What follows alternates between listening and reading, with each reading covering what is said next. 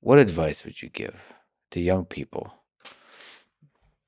uh, that look at your stellar life, the trajectory of of your career as a human being, as a creator, as a engineer, as a designer, as a incredibly interesting personality who's working on an autobiography. What advice would you give them? Um, like how how to make their way in this life? Uh, maybe high school students, maybe college students, on um, how they can have a career they can be proud of or a life they can be proud of.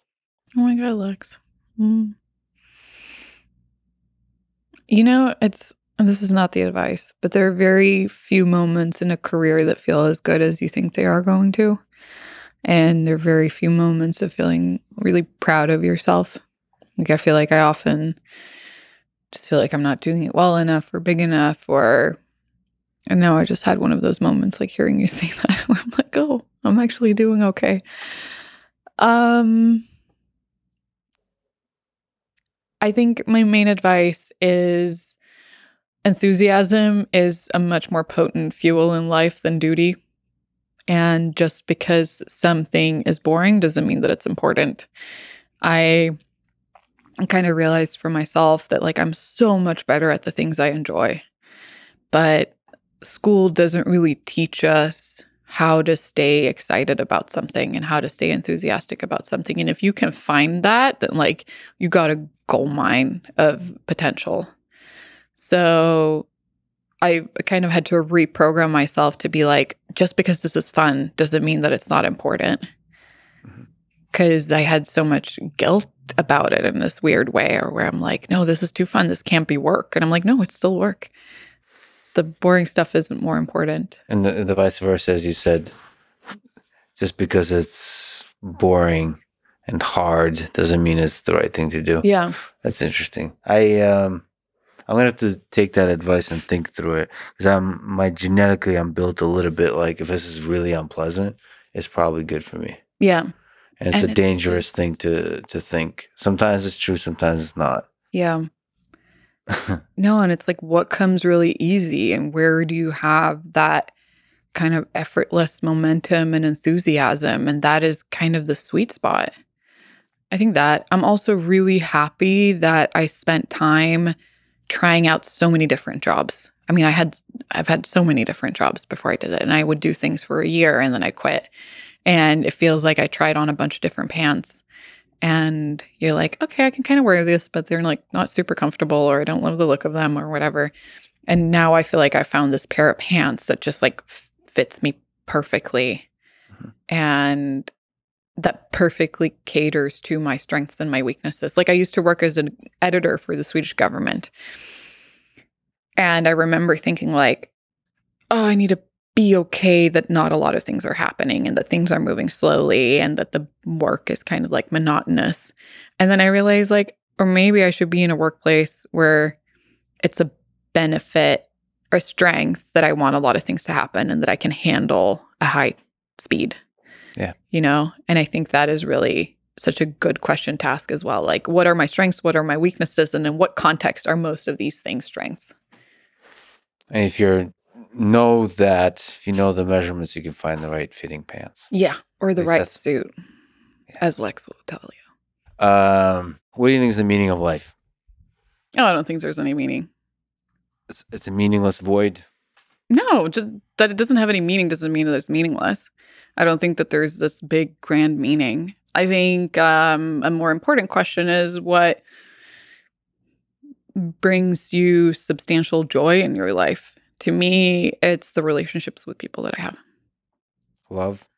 Yeah. I mean, love in all different kinds of form. It's, um, I'm really working on figuring out how to build more community, especially in a society that isn't really made for it. Um, I want more passive hangouts with people where like I just want people who are there. Together? To get high? No, together. to get high? Maybe to together. Yeah. I mean, I like I I think uh, seeing somebody for lunch and kind of shooting the shit and what's what's the latest with you is great, but like what I want is somebody to just roll up in sweatpants and open my fridge and like be like, what are you going to do? I don't know. Maybe I'll read a book. Like, yeah, I think that sharing kind of like silence, sharing silence, being alone together, and that just that type of community, I think, is what I'm really seeking out now. Um, because I think, yeah, and also like working on a goal, on a joint goal together with other people. I think being a YouTuber can be really lonely. Um, I mean, as much as I'm working with a team, it's like, yeah, I just want to work in a bigger project and kind of have that sense of, wow, we're like doing this together. Cause I think that accesses my pride a lot better than just being proud of myself. It's so much easier for me to be proud of a team than for me to be proud of myself. That's probably good advice for people who are doing creative work on YouTube too, to Yeah. to work on to work on a team. Yeah, and just can be long. choose, ch- try to do things. Take it from the queen of shitty robots, but like try to do things with Former integrity. Former queen of shitty robots. Do things with integrity. Like anything you do on the internet is kind of. I- I think of things as tattoos on my internet and on my internet self. And I'm I'm really happy that I said no to some things early in my career that I know that I would have regretted now. And you know, just think of it in the long term. Like going viral is overwhelming and so stressful and so fun, but like so intense. And I'm I'm really happy that I managed to build that into a more long-term career than just have it be something that passed. and come down from the the viral moment and maintain your humanity. Yeah. And also really deliberately defining what success means to you because there are so many reasons or so many definitions that other people will give you and especially when you're working on the internet there are just numbers upon numbers that are like you're doing well you're not doing well and something i'm really happy that i did was early on i really tried to think of like what does success look like for me? And i realized that it's not having the world's biggest YouTube channel. It's being proud of the projects that I put out and having full say in how I spend my time. Like mm-hmm. that is the most important thing to me. And if I had a huge YouTube channel and I was making so much money, but I kind of had this machine run me rather than the other way around, like to me, it's so important to be able to wake up in the morning and be like, I don't want to do this anymore. And for that to be okay.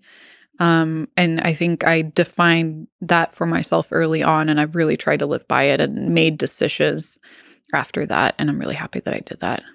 And also, you're with with uh, the store with the design you're doing now. You're putting a little bit of love in the products you create at Mhm. scale. I mean, that's what Jony Ive did. Mhm. That's the cool thing. So you can create something beautiful, and then people can share that love at scale. It's, it's terrifying and beautiful, and I'm so here for it. I'm here for it too. Um, I'm a big fan. I'm a big fan of who you are. I'm a big fan of everything you do, of putting yourself out there, putting your love out there in terms of the designs you create. Also, just because I'm a fan of robotics, I think you inspire a lot of people. I think the shitty robots are actually incredible robots, Mm. and uh, it's incredible engineering. That's all. That's that's the best combination of design and engineering and fun, all of it together. So thank you for doing that. You're, you're I'm a big fan. You're an inspiration, and thank you for sitting down with me. This is awesome. Thank you so much for having me.